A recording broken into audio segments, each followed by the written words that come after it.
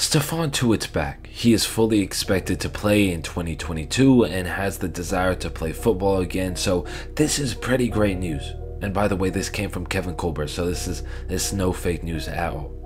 Now, the first thing I'm going to think about is running through our roster with Tyson Alualu and Stephon Tuitt back now. So Stephon Tuitt, Tyson Alualu, Cam Hayward, TJ Watt probably going to have another 20 sack season. Alex Highsmith really turned it on at the end of the season. Montravius Adams, Chris Wormley, who's a good pass rusher. And then you got Isaiah Loudermilk, who is very, very much a young talent that is developing and only getting better. And honestly, he has a very bright future. So you look at that D line group and you say, yeah, we're not going to have too many problems if Tuitt and Alualu return.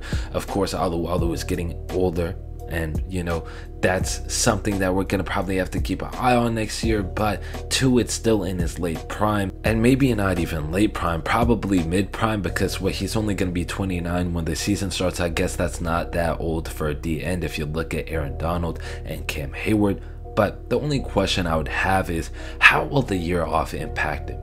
Will it give him rest? Will it help him in the long run Will it hurt him because he would be rusty? 300 pound man, maybe he's out of shape. Who knows? We haven't seen any pictures of him at practice. Of course, it's the off season. So hopefully it did not impact him in any negative ways.